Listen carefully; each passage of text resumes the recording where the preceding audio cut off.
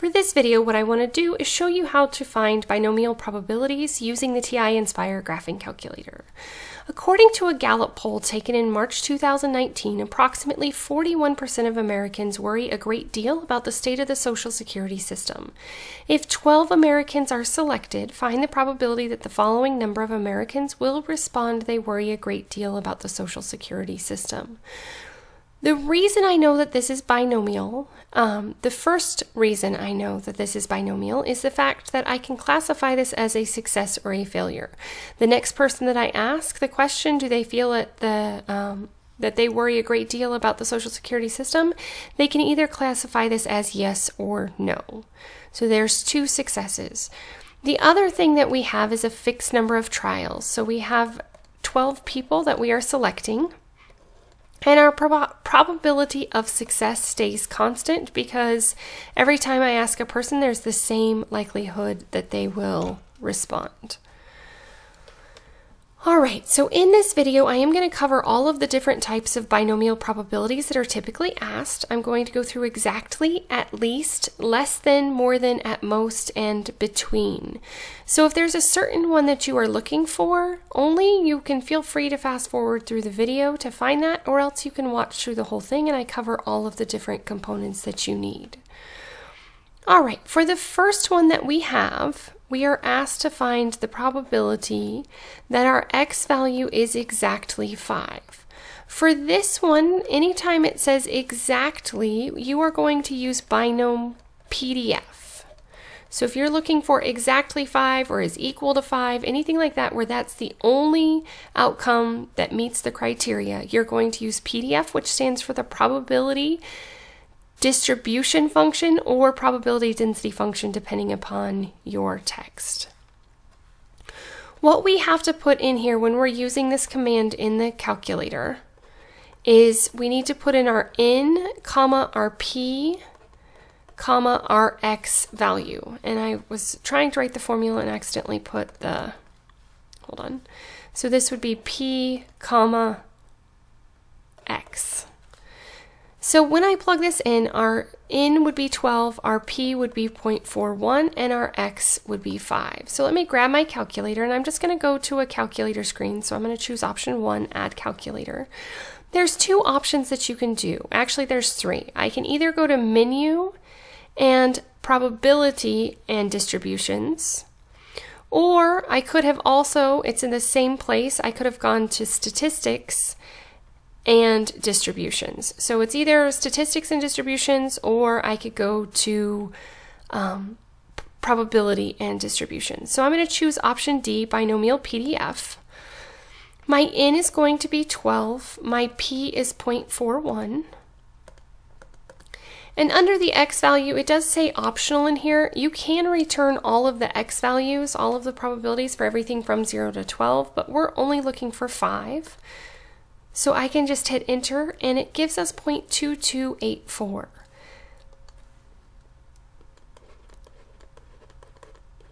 Or you could put this as a percent and say approximately 22.84% um, of the time, exactly 5 people out of 12 will respond that they worry a great deal about the Social Security system. So that's one way of finding the answer. The other thing that you can do in the TI Nspire is I can actually type in the command, the B-I-N-O-M PDF, and as soon as I hit the F, you're going to notice that it goes from italicized to upright. That means that it's a command that's stored in there. And I can just put in the 12, comma, 0.41, comma 5. So if you don't want to go through the menu, you can actually type it in yourself. All right, so the next ones. All of the following are going to use binom CDF. CDF stands for the cumulative distribution function or cumulative density function. And what you're going to need for this one is you're going to need your N, your P, your lower value, and your upper value. So this is going to tell you where am I starting and where am I stopping, what values do I want to sum them up. Other calculators that have binom CDF often just start with zero, um, but this one does make it to where you have to input it slightly differently. All right, so we're looking for the probability that it's at least 7. At least 7 means greater than or equal to because the lowest possible value that it could be is 7. So you have to think about this as at least means we're trying to find the probability of 7 plus the probability of 8 plus all the way to the probability of 12. So I would have added the 9, the 10, the 11, and the 12 together. So when I'm putting this into my calculator, the binom CDF, my n is still going to be 12. My p is going to be 0.41. And my lower is going to be 7 because that's the first number that I want to find. And then I want to go all the way to the end with 12. And so my upper would be 12. So I would put this into my calculator. Again, if you wanted to, you can type the command, the binom CDF. And then you can put in the 12, comma, 0.41, comma, 7, comma, 12 and then hit enter and it will give you the answer or you could have gone up into menu and probability and option 5 distributions and then scrolled through and found binom CDF so it's just a matter of whichever one is easier for you um, then if you were using this you would put in your n as 12 the probability is 0.41. My lower bound is 7, and then my upper bound is 12. And so if you notice, it enters it the exact same way that we did before, so it's just a matter of preference. What's easier for you? So the answer to this is 0.1765 or 17.65%. All right, for less than 9, probability that it's less than 9 means that we want to start with 0 because we can have 0 successes, 1 success, all the way up to 8 successes because 8 is the last number that is below 9 and since it's binomial, it has to be whole numbers. So I would type this in as binom CDF 12 comma 0.41 comma 0 and then we would stop at 8. So we want it from 0 to 8. So you just have to think about what numbers am I trying to add together. So now that we've already entered the binom CDF, I can up arrow and grab this and then just change the numbers that I want to change. So I want to change my lower limit and my upper limit to be 0 and 8, and then if I hit enter, I get 0.9817. So if you've been doing several, instead of having to retype or go through, you can just up arrow and select the last thing that you typed and then just change the values that you need to change. So there's a 98.17% probability that less than 9 out of 12 people will respond yes, that they worry about the state of the social security system. All right, more than nine.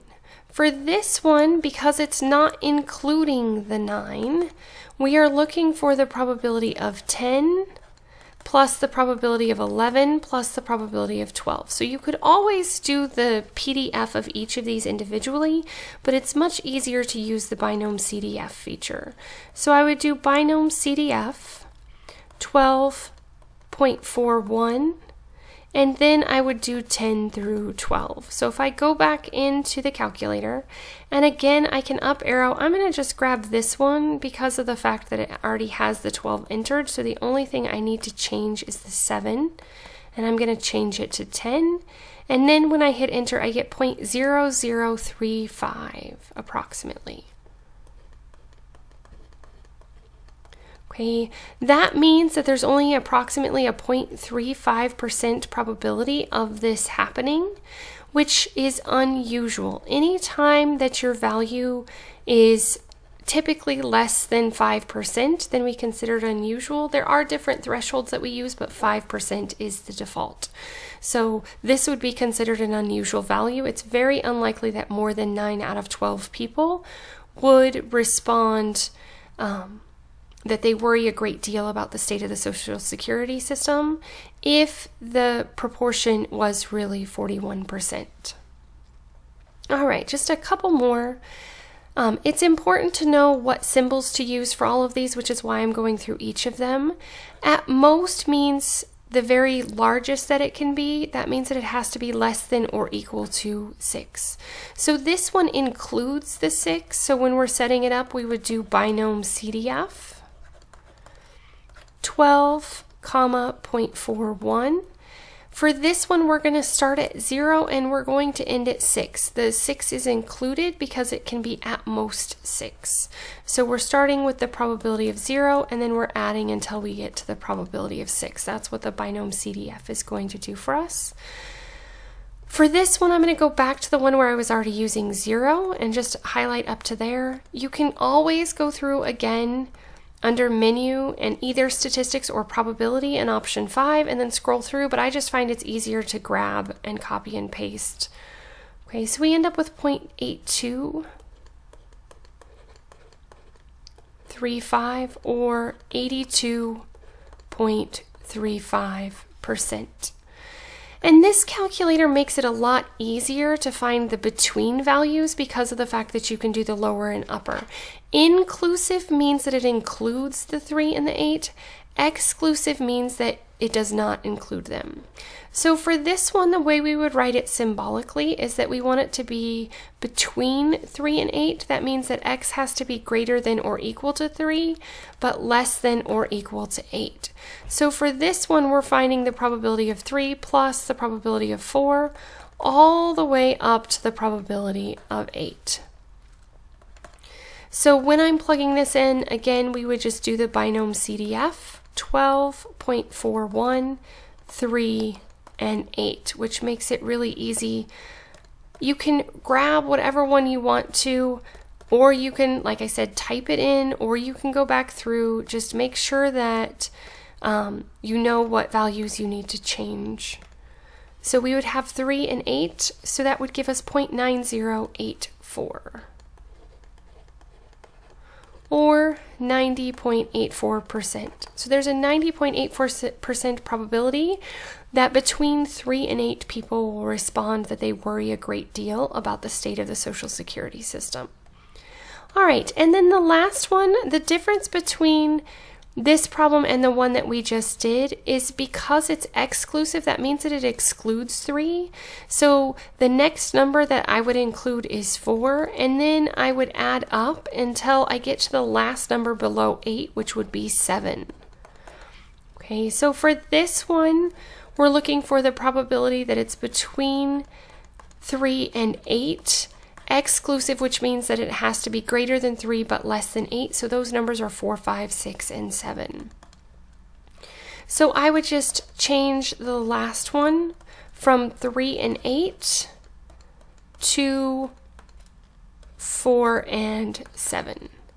Okay, so that's the biggest difference between inclusive and exclusive. Inclusive includes it, exclusive does not include either one of them. So if it says to exclude them, you just go one higher than the lower number and one lower than the upper limit or the last number that you want to add. Okay, and we see that it's 0.7291.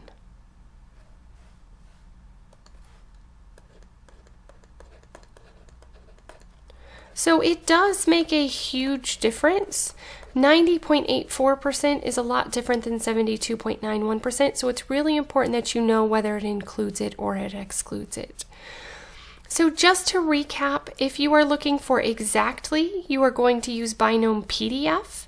If you are looking for anything else, you're going to use binom CDF. And in the TI Nspire, you would always put it in as n comma p, the lower limit and the upper limit. The lower limit is just where are you starting adding. The upper is going to be where are you ending. Remember that the lowest amount that you can have is zero successes, so don't forget that if it's less than um, or less than or equal to, that you always want to start with zero as your lower limit. As always, thanks for watching. If you have any questions, please let me know. If there are additional topics you would like me to cover, please let me know that as well.